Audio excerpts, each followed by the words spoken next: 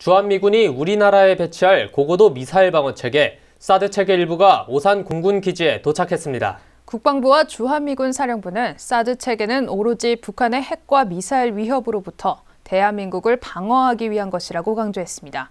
오상현 기자의 보도입니다.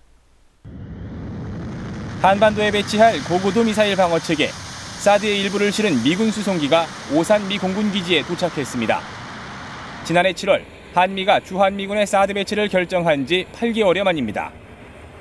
국방부는 주한미군 사드 체계는 오로지 북한의 핵과 미사일 위협으로부터 우리나라를 방어하기 위한 것이라며 사드 체계의 조속한 작전 운영을 위해 한미가 노력하고 있다고 밝혔습니다.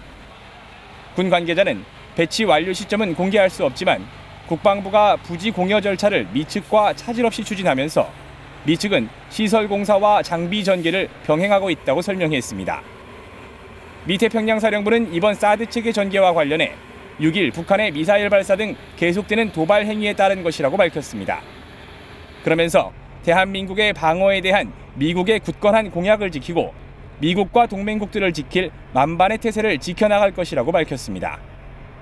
또 빈센트 브룩스 주한미군 사령관은 미 국방장관과 태평양 사령부의 적시적인 사드 체계 전개에 대해 주한미군이 증원 전력이나 최신 전력을 요청하면 지원받을 수 있다는 확신을 갖게 하는 것이라고 언급했습니다. 한편 군 관계자는 이번 사드 체계 전개를 중국에 통보했느냐는 기자의 질문에 통보할 이유가 없다고 일축했습니다.